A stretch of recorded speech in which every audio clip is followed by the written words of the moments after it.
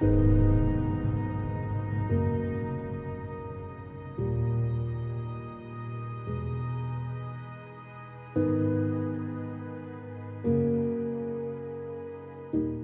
daire şu zemindeydi. Şu sıraydaydı. Yerin dibinde. Şu anda gözükmüyor. İkinci kata onun yerine gelmiş. Benim katı aşağıda sadece şuradan bir perdenin ucu gözüküyor.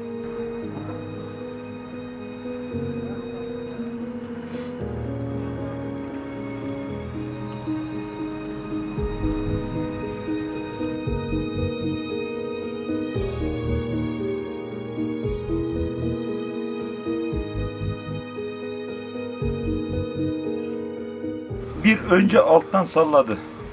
Alttan salladı. Biz o anda deprem oluyor dedik.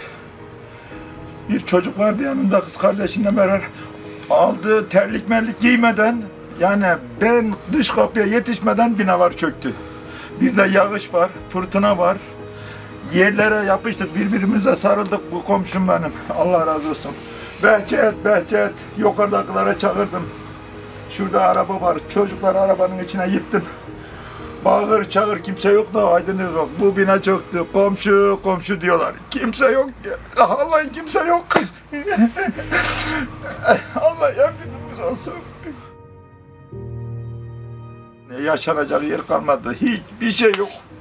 Yani biz küçük şehire alışık. Büyük şehirde ev kirası mı verecek? Geçinecek mi? İş mi bulacak? Dilenecek mi? Yapamam ki bunu.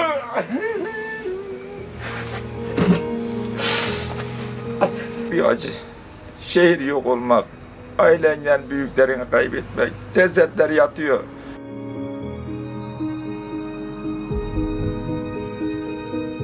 Çoluk çocuğun ailen olmazsa ne yapayım sana yeri?